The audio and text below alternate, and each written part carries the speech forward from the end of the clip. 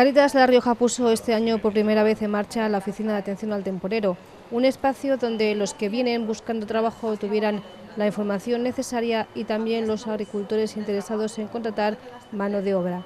Una vez acabada la campaña de la vendimia, Caritas hace un balance positivo del funcionamiento de esta oficina.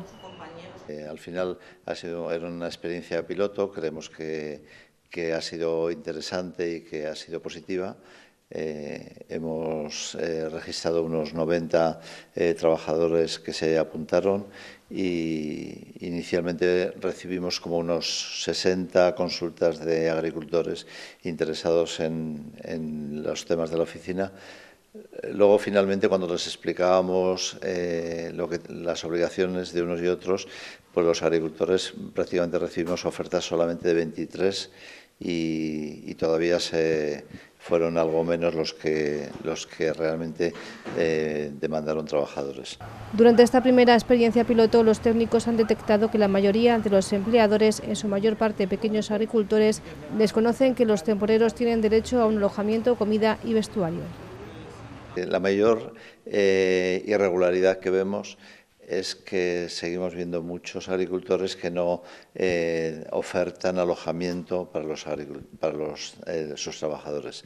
Eso es una cosa que nos preocupa, o sea que, que está pasando prácticamente en toda La Rioja y muchos de los trabajadores que vemos vienen de La Rioja Alavesa, de Navarra y, y, creemos que debería solucionarse. Este desconocimiento de sus obligaciones e incluso a veces la falta de interés en cumplir la ley constatan la necesidad de que exista un recurso así pero desde Cáritas demandan el apoyo de la Administración para poder llevarlo a cabo. Sería bueno que, que por parte de eh, la, la, Delegación de, de Trabajo o, o, la, o, el Consejo Regulador o algún tipo de, de otro organismo intermedie en, en este colectivo. Sí. Una colaboración que permitiría conocer el número exacto de contratos que se realizan, un dato que ahora es imposible conocer o incluso que la propia Administración fuera la mediadora entre temporeros y agricultores.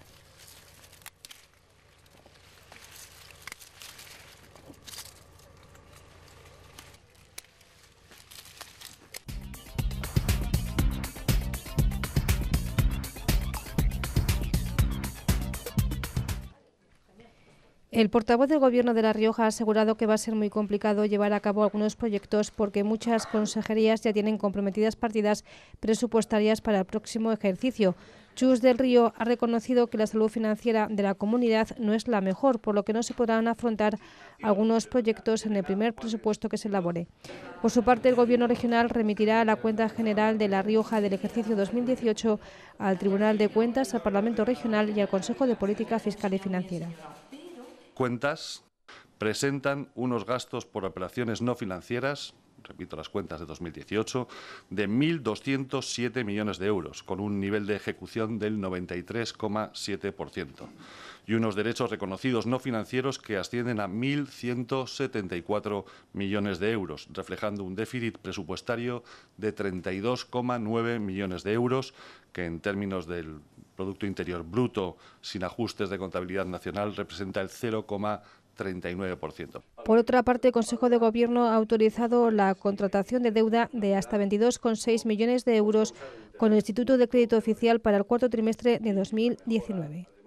Esta comunidad autónoma de La Rioja solicitó la adhesión al compartimento de facilidad financiera para el año 2019 por un importe estimado de 257.000 de 257,63 millones de euros para atender las necesidades financieras del año 2019. En los tres primeros trimestres se asignaron ya 235 millones y en los primeros días de octubre la Comisión Delegada asignó a la Comunidad Autónoma de La Rioja para este cuarto trimestre de 2019 un máximo de 22.600.000 euros. Además, el Ejecutivo Regional firmará mañana un convenio con la Fundación La Caixa por el que la entidad bancaria aportará 3 millones de euros para actuaciones de carácter social en La Rioja.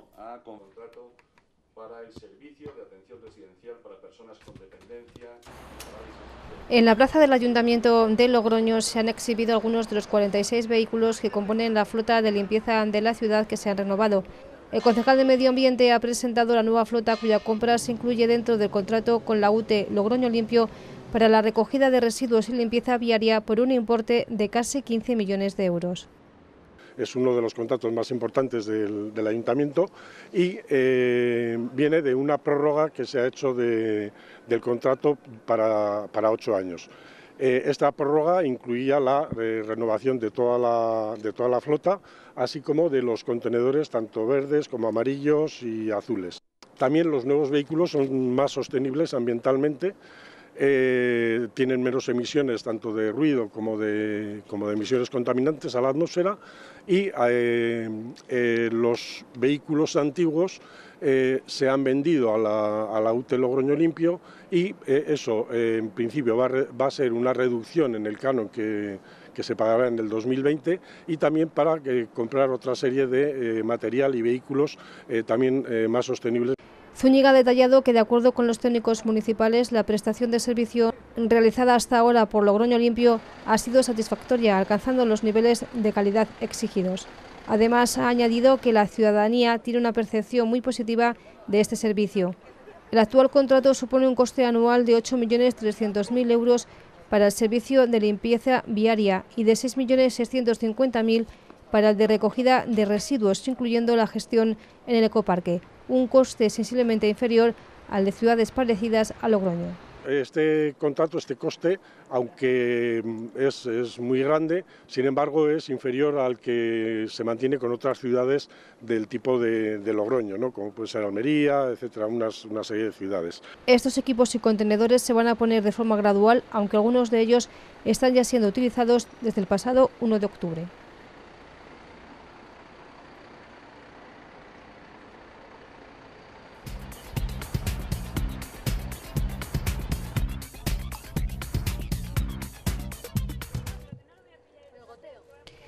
Satisfacción y tranquilidad son las palabras que resumen el estado de ánimo en el seno del Consejo Regulador después de cerrar oficialmente la vendimia de este año.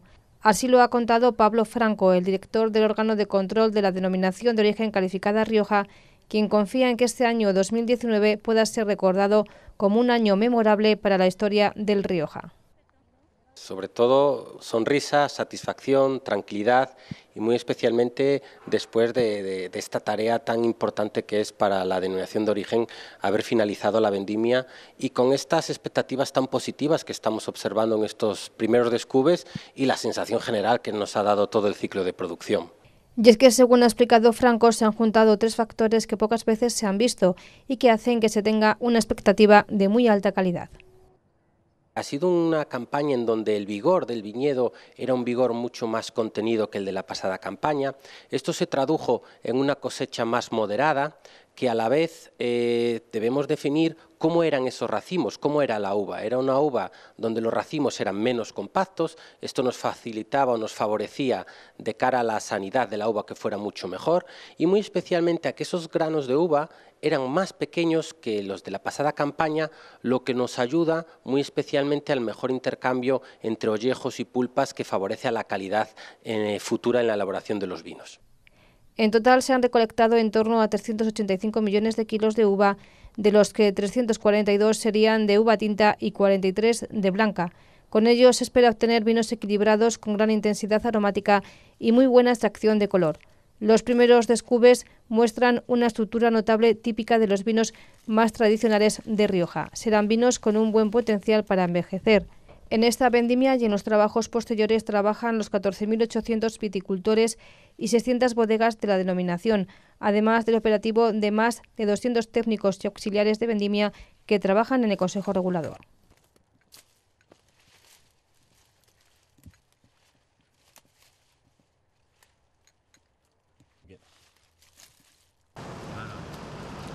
El equipo de gobierno ha anunciado la subida de dos impuestos, el IBI y el impuesto de vehículos. En el primero se propone una subida moderada para situar, ha dicho la concejala de Hacienda a Logroño, en la media de las capitales españolas. Proponemos una actualización moderada de tipo de gravamen que será del 0,6% cuando se trate de bienes inmuebles urbanos, ahora es del 0,57%, para situar a Logroño en la media, y una bajada del 0,89 al 0,85 cuando se trate de bienes inmuebles rústicos. respecto a esto, quiero afirmar dos cosas. Primero, se trata de un impuesto directo y progresivo, por tanto, con esta actualización pagará más quien más tenga. Y segundo, hay 32 capitales de provincias con un tipo de IBI superior al que proponemos. El impuesto de vehículos disminuirá la cuota a aquellos que contaminen menos y se incrementará a los que tengan más caballos fiscales. En conjunto se situará entre una horquilla de 20 euros al que paga menos y hasta 220 el que pague más. Las tasas también suben un 2% en consonancia con el IPC, mientras que los precios públicos se mantienen, salvo en el caso de la Escuela Municipal Chispita, que se incrementa en un 0,23%. Tampoco cambian impuestos como el IAE o licio. Estas medidas se adoptan, ha explicado la concejal de Hacienda, para, por un lado, mejorar los servicios públicos y, por otro, modernizar la Administración.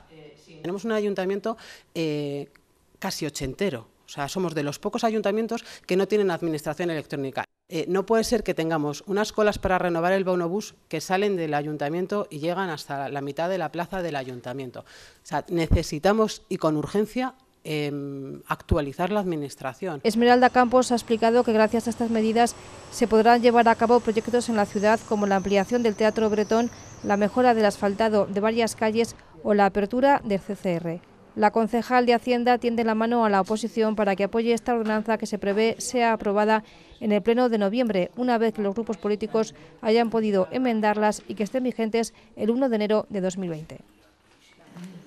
Y después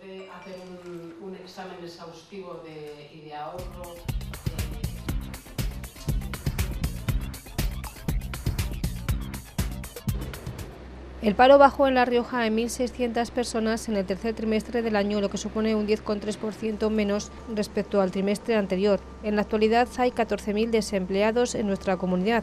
En términos interanuales, el paro también bajó en 900 personas, por lo que la tasa de desempleo se situó en nuestra región en el 8,99%, en torno a 0,85 puntos menos que en el trimestre anterior, que fue del 9,86 unos datos que han sido criticados por la Federación de Empresas de La Rioja y los sindicatos. Para uso, la estacionalidad sigue siendo la principal protagonista del descenso del paro en La Rioja. UGT urge a derrogar la reforma laboral para erradicar el empleo temporal y precario. Y en el mismo sentido, se muestra a Comisiones Obreras que habla de unos datos que reflejan el deterioro de la situación económica y laboral del país y de la región que no hemos corregido todavía eh, los efectos de la reforma laboral, sigue vigente y esto está impidiendo que los salarios eh, crezcan de manera adecuada. Los salarios de, de, los trabajadores y trabajadoras son un elemento fundamental para impulsar el consumo interno y la demanda interna y, por lo tanto, bueno, pues amortiguar esa desaceleración y mejorar, en cierta forma, la economía de nuestro país. Más positivo se ha mostrado el Gobierno regional que habla de que La Rioja se sienta como la cuarta comunidad con menor desempleo y la primera con menos paro femenino. Uno de los grandes retos de la región para los próximos años, han asegurado, son los jóvenes menores de 25 años cuya tasa de paro llega al 28%.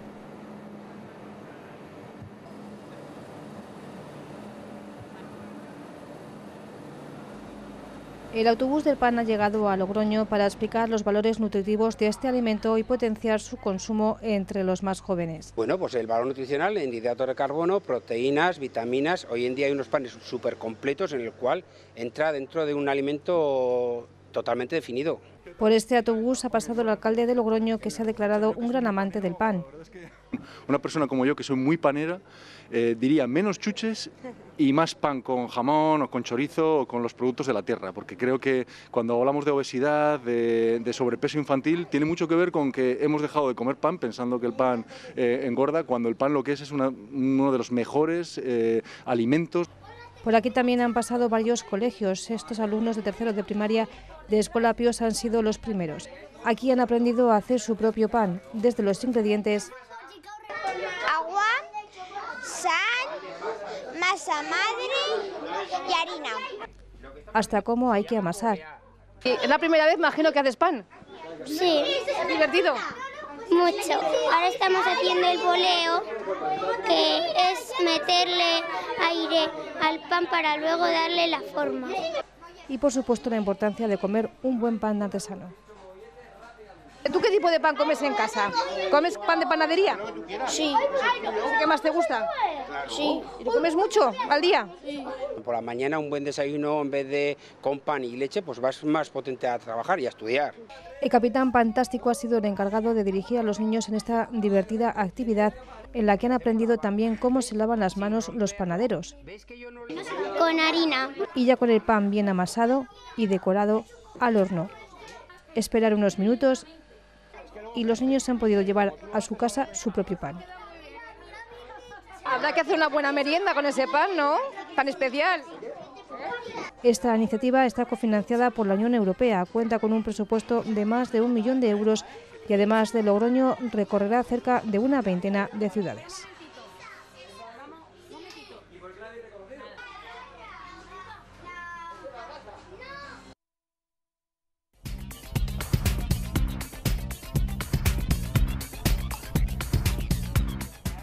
La campaña de vacunación contra la gripe comienza este lunes 28 de octubre y se prolongará hasta el 27 de diciembre. Salud distribuirá 67.000 dosis de vacuna, 2.000 más que en la campaña anterior en más de 200 puntos sanitarios. Este año, como novedad, se incluye la vacuna tetravalente en niños de hasta 14 años y la inclusión de los niños prematuros entre los grupos de riesgo. ¿Por qué hemos tomado esta decisión este año? Bueno, pues porque pensamos que es un colectivo especialmente vulnerable y que tenemos una vacuna que puede mm, proteger eh, especialmente a este, a este grupo. Niños, por ejemplo, que han nacido con una prematuridad, niños, eh, eh, niños que tienen una enfermedad renal, una inmunodeficiencia, un cáncer. La Rioja se sitúa en el primer puesto de las comunidades por cobertura de vacunación. En este caso, La Rioja, esta comunidad, se sitúa en el primer puesto de las comunidades autónomas por cobertura de vacunación, con una cobertura exactamente del 64,5% prácticamente 10 puntos porcentuales por encima de la media nacional. El director de Salud Pública ha explicado cuáles son los objetivos que se han marcado para esta campaña.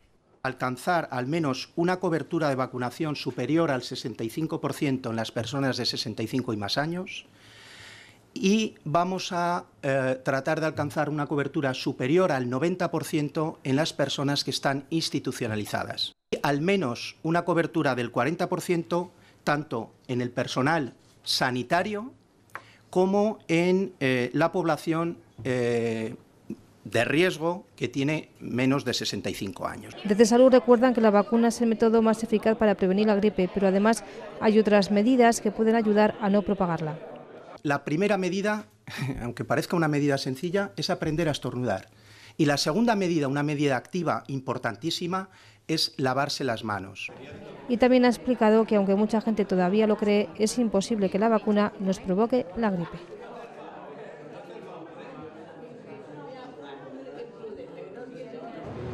El primer simulador de vuelo del helicóptero NH-90 ya se encuentra en la base militar de Agoncillo, un sistema que incluye dos simuladores de misión, cuatro entrenadores y un aula de enseñanza asistida por ordenador un simulador de última generación que tiene capacidad de movimiento completo y emula al 100% el comportamiento de un helicóptero real. Entramos en él para comprobar que la simulación es perfecta. Visión nocturna, climatología, velocidad, despegue, aterrizaje y emergencias. Las sensaciones de vuelo eh, se han asemejado lo más fielmente a la realidad hasta tal punto que, por ejemplo, si pisan ahí en esta plataforma, se simula hasta la vibración que notaría un helicóptero en un vuelo real, un piloto en un vuelo real, por eh, las diferentes eh, posiciones o actitudes que tenga el helicóptero. Si ven la imagen, aunque nosotros ahora mismo estamos totalmente quietos por seguridad, para ustedes, la imagen se mueve. Eso en condiciones reales eh, se consigue con otro sistema de movimientos, sistema de movimiento se llama el motion del helicóptero, que lo que hace es parte de ese alabeo del helicóptero que nosotros aquí vemos y, solo es imagen, parte se movería la bola hacia un lado, hacia el otro, hacia abajo, una combinación de esos valores y parte sería con la imagen.